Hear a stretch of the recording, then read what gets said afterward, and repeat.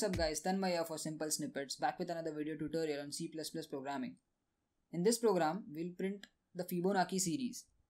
So what exactly is a Fibonacci series? Let's go ahead and check it out. Okay, so the question here is we need to print the Fibonacci series. So Fibonacci series is as follows. So initially there are two numbers 1 and 2 or we can start it from 0 as well. So the third number is the sum of the first two numbers. So 0,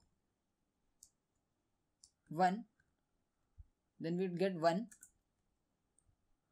Now the next number after this 1 would be the previous two numbers and its sum. So 1 plus 1 will give 2. Now 1 plus 2 will give us 3.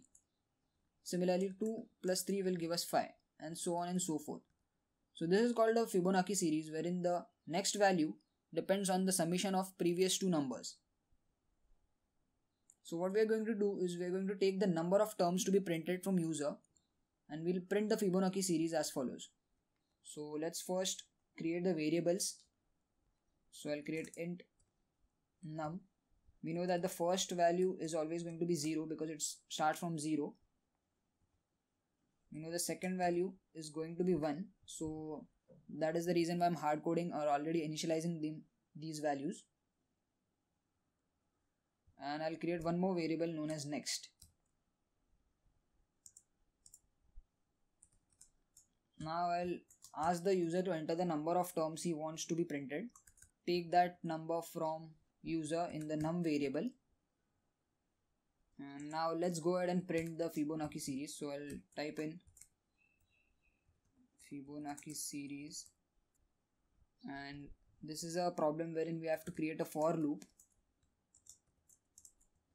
So I'll write for int i equals to 0 and i less than the num that is entered by the user. So the entered number is going to be the number of terms which we want to print. So i has to be less than that. And we'll say i plus plus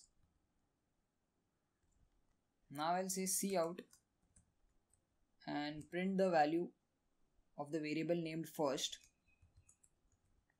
And i'll type in endl to get the cursor on the next line. Now I'll initialize the next variable as first plus second. The first variable now becomes the second variable. And the second variable becomes the next variable. So it's a bit confusing but I'll explain and we'll dry run this code as well. So let's see if this works properly. Let me just go ahead and compile and run this code. It's asking enter the number of terms. So let's enter four terms. So we want four terms to be printed. So as you can see the four terms are printed. 0 1 1 2 so the first number is 0 the next is 1 and the next number is 0 plus 1 which is 1 then we have 1 plus 1 which is equal to 2 so the Fibonacci series is correct. And so let's see how this works. So as the num was entered 4 So in the for loop, first the number printed is 0 because we have initialized it as 0. So the output here is 0. Now the next value, we haven't initialized it yet. So which that would be first plus second. So that would be 0 plus 1 which is equal to 1 again we change the first value to second now we know the second value is initialized to 1 and first is 0 so here the first value gets updated to 1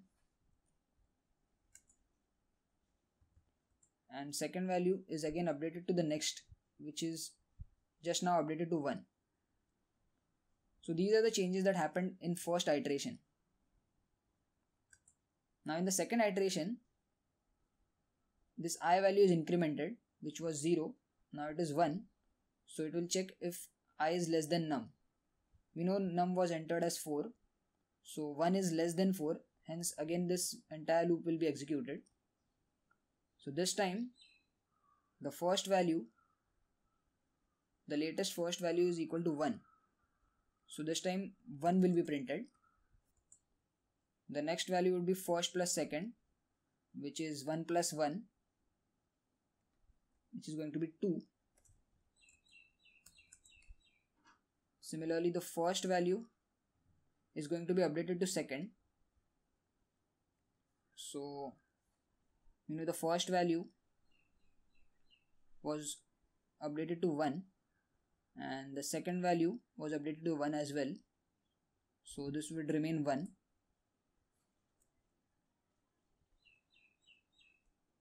and the second value would be updated to 2 because the value of next which was 2 is now copied in the second variable.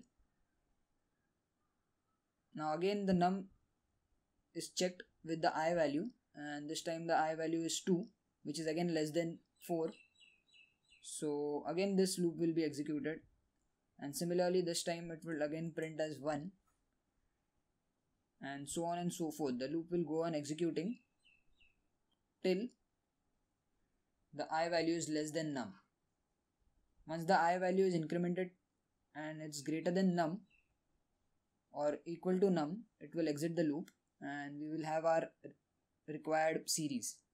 So let's go ahead and try to run it again. And this time we'll print a big series. So the number of terms we want this time is 7 so as you can see 7 elements are printed of the series. 0 1 1 2 3 5 8 so each number is addition of the previous two numbers and that is why it is a correct Fibonacci series. So that's it for this video. I hope you understood how the Fibonacci series logic works. Don't forget to subscribe to our channel and share the video. Peace